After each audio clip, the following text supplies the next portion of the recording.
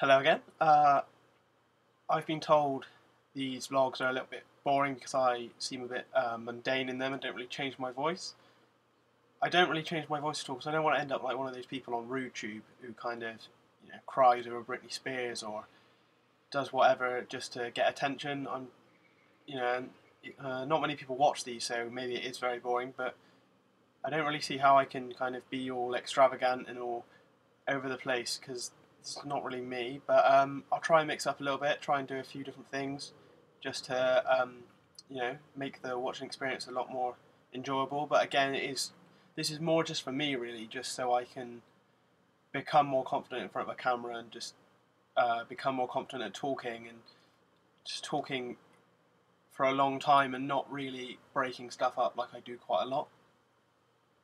So hopefully I'll try and make a change and see how that goes. But um, apart from that, not really much I can do really. Uh, over the past week, uh, not really too much has happened. I've been to uh, went to Gay Pride yesterday. It was a friend's birthday on Friday, and he wanted to go along, so we went out and checked it out.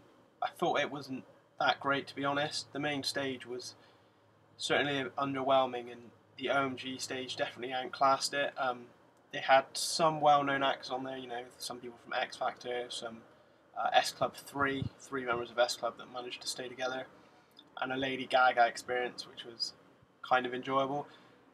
Uh, apart from that, it was quite wet, quite muddy everywhere, and you know, not not what I thought it would be at all. Uh, San Diego Comic Con's going on this week, so lots of news has been coming out of there. Some really interesting stuff. Uh, I've always wanted to go to San Diego Comic Con, but it's just too far away, so it'll never happen for me. Not anytime soon, anyway. But next year I might go to London Comic Con just to see what what happens there and just to get that con experience. Really, is I do kind of enjoy the, all the panels and everything that comes out of them this week I've bought a few more books to do with my dissertation. I've been reading quite a lot. Uh, I've got through quite a lot of reading material and also started watching uh, Starsuckers. Star Suckers. So uh, that's been a really interesting documentary, and I'll, I'll finish that off soon.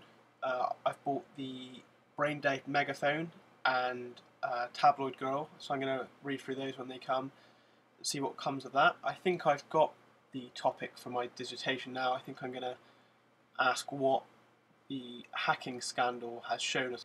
So through that, I can incorporate storytelling and Leveson and quite a few different elements, which will should make it quite interesting.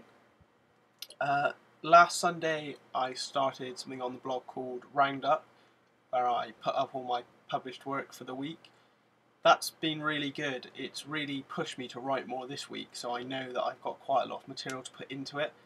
So that's been it's a good way of making myself write really and actually saying look I've got to write something today I've got to write something tomorrow or however also over the next couple of days I'm going to be applying for wannabe hacks it's a really good website about getting into journalism and stuff to do with journalism so there's a piece up on the website on my blog if you could check out you know it's just uh, uh, what role I would do an article for the site and uh, one proposal for the site.